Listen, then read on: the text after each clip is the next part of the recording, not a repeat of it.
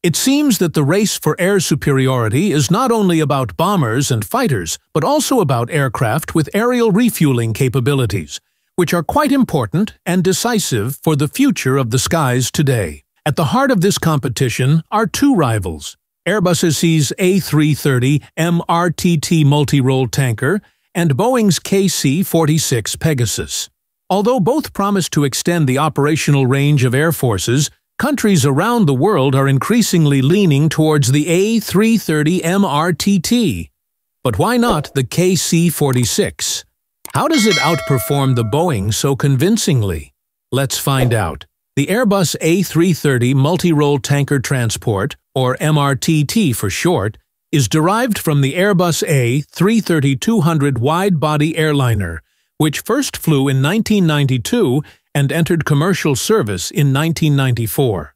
Its transformation into a dedicated air-to-air -air refueling and military transport aircraft began in the early 2000s, marked by a landmark contract in December 2004 with Australia to convert five A330-200s to the MRTT configuration.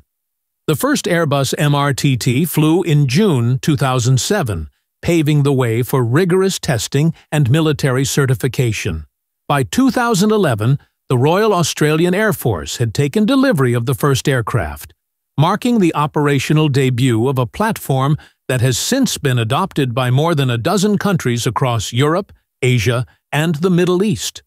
Renowned for its unmatched fuel capacity, long range, and multi-role versatility, including troop and cargo transport as well as medical evacuation, this MRTT has become the world's leading tanker outside the United States.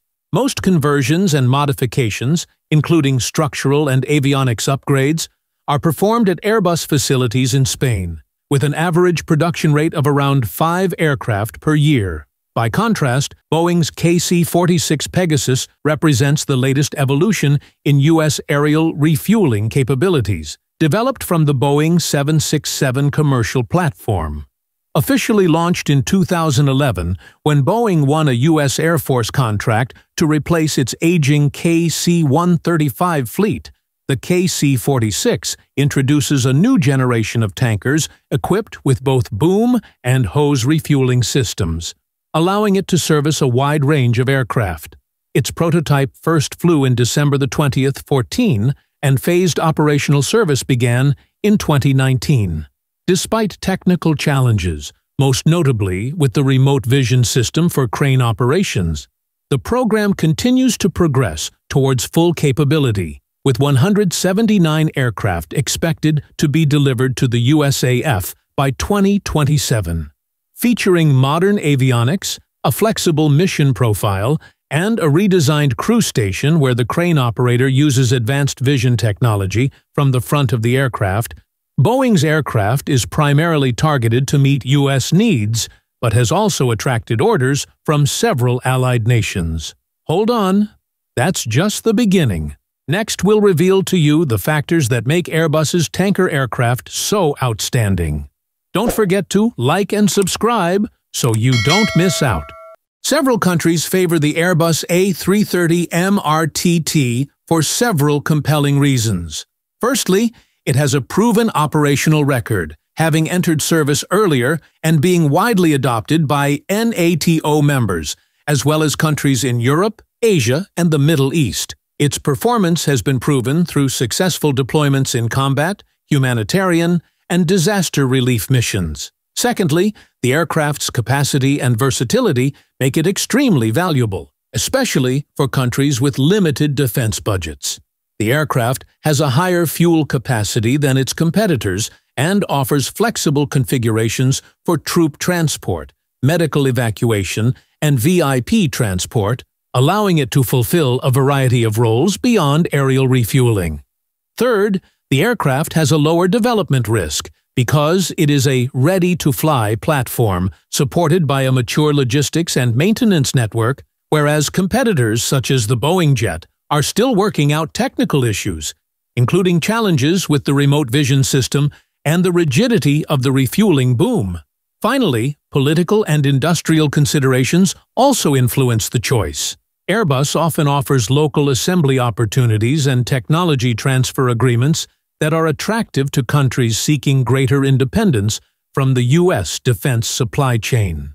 These operational, technical, and strategic factors together help explain why many countries choose this aircraft over alternatives such as the KC-46.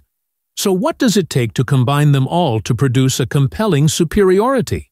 Operationally, the A330 MRTT boasts a proven global track record with over 300,000 flight hours accumulated by 15 operators spanning NATO, Europe, Asia, and the Middle East.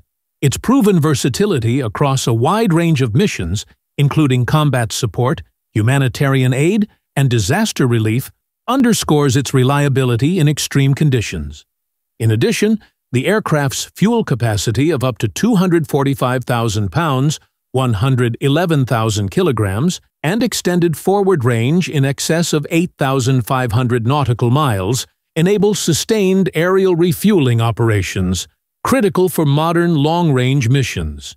Additionally, its cabin can be configured to transport up to 300 troops, medical evacuees, or VIP personnel, providing multidimensional capabilities that support a variety of operational scenarios while optimizing fleet utility for nations with limited defense budgets. Technically, the fighter benefits from the maturity of the Airbus A330-200 commercial airframe, providing a robust, well-understood platform with an extensive global support infrastructure.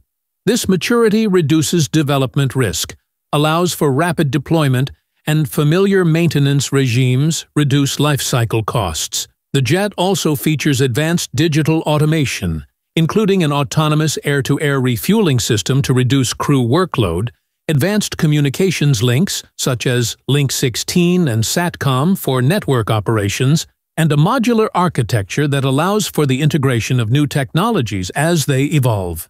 In contrast, competing platforms such as the Boeing Pegasus have faced significant technical challenges, including issues with the remote vision system and refueling boom stiffness, which have slowed down full operational capability and eroded the confidence of some potential international customers. Strategically, the aircraft represents a symbol of technological sovereignty for many countries. Airbus often offers customized industrial engagement packages that include local assembly, technology transfer, and supply chain integration in line with national economic and defense industry development goals. This contrasts with the dependence on the U.S. defense supply chain that accompanied the KC-46 acquisition, which prompted several countries to diversify their sources of critical defense technology to enhance autonomy and political balance. Furthermore, the existing broad user base of this jet promotes multinational interoperability through standardized procedures, joint training, and cooperative mission planning, an important consideration for coalition operations within NATO or other alliances. The aircraft's ability to simultaneously support multiple aircraft types in mid-air refueling further enhances its strategic utility in integrated air operations. In short, the preference for this Airbus jet is deeply rooted in its operational excellence, mature and adaptable technical platform, and strategic benefits related to industrial sovereignty and interoperability across alliances. These factors combine to attract nations looking to modernize their air refueling and transport capabilities while maximizing flexibility, minimizing risk, and supporting broader defense industry goals. Some countries have been hesitant to choose the Boeing KC-46 Pegasus for several key operational, technical, and strategic reasons. Operationally, although it is designed with modern avionics and can quickly reconfigure missions, it has a lower fuel capacity and payload than its competitors, limiting its ability to perform long-range or high-volume refueling operations, which are essential for strategic air transport for many countries. Furthermore, it also has a lower passenger capacity, only about 114 people compared to the MRTT's 300. This also reduces its versatility in multi-purpose transport for troop movements, medical evacuations, or humanitarian missions. Technically, it has faced persistent development challenges, delaying its maximum operational efficiency. Notably, the remote vision system, which allows the boom operator to control refueling, has suffered from image clarity and latency issues that have caused operational limitations and maintenance burdens. The aircraft has also suffered from boom stiffness and cargo floor strength issues, affecting cargo handling and durability. These unresolved technical issues increase risk for early adopters and raise concerns about life cycle costs and maintainability compared to the proven and mature A330 MRTT platform, despite benefiting from extensive global operating experience and a strong support network. Strategically, many nations are wary of over-reliance on U.S. defense platforms due to their political autonomy and supply chain resilience. In fact, Airbus's jet offers industry engagement opportunities such as local assembly, technology transfer, and integration within European and other multinational frameworks, which are more in line with the sovereignty and defense industry goals of countries outside the United States. In particular, the widespread adoption of MRTT worldwide also facilitates interoperability within NATO and coalition forces, while the export scope is more limited than that of Boeing's tanker aircraft. Can Boeing fix the KC-46's problems fast enough to catch Airbus? Leave your thoughts in the comments below. The A330 MRTT Plus marks a major upgrade, replacing the A330-200 with the more efficient A330A A330-800 platform. Key improvements include a redesigned wing and more advanced Rolls-Royce Trent 7000 engines, which cut fuel burn by up to 8%. This increases range and unloading capacity, improving endurance and mission flexibility. The passenger cabin has also been upgraded to provide greater crew comfort. Strategically, Airbus is enhancing the tanker's connectivity to act as a communications node on the battlefield, supporting network-centric operations and real-time data sharing. The MRTT Plus maintains 95% airframe commonality with the current MRTT, streamlining training and maintenance while delivering improved efficiency, range, and digital capabilities. Expected to enter service in the coming years, it represents a significant leap forward in fuel efficiency, operational performance, and battlefield integration for multi-role transport and air refueling missions.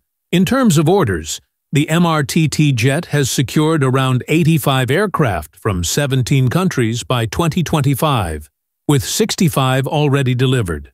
Its global customers include Australia, Canada, France, the UK, Saudi Arabia, Singapore, South Korea, Spain, the United Arab Emirates, and members of NATO's multinational MRTT team. The platform accounts for around 90% of the next-generation aerial refueling market outside the United States. Notable recent orders include the Royal Thai Air Force's purchase of the advanced MRTT Plus variant with improved engines, aerodynamics, and connectivity scheduled for delivery in 2029. In contrast, the Boeing Pegasus, developed primarily to meet the needs of the U.S. Air Force, has a backlog of 179 aircraft, scheduled for delivery in 2027. While it plays a key modernization role in the U.S. military, its international export success has been more limited, with orders primarily from close U.S. allies. The KC-46 is facing operational and technical challenges that are slowing its global adoption compared to the more mature and widely deployed A330 MRTT. The video ends here. Thank you for watching. Goodbye and see you again.